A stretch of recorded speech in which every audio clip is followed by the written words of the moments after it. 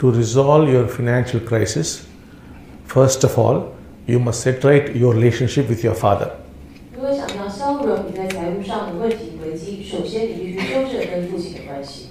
If your father were not alive, you must talk to his picture.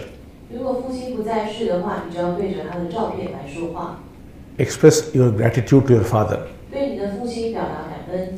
So that must be done.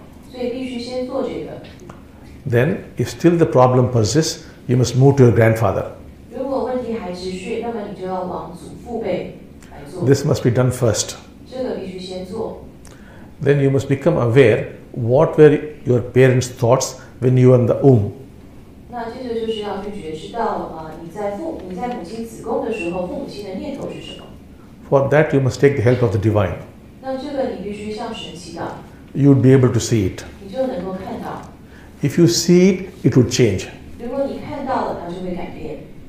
If you do these things, money would start flowing. If still there are some obstacles, you must work on your relationship with your mother. If the relationship is bad with the mother, there will be obstacles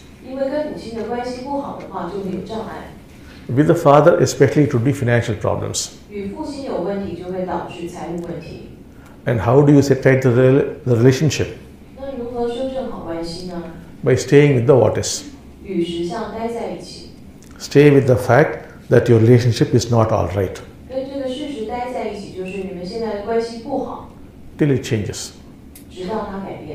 That is how you must go about it.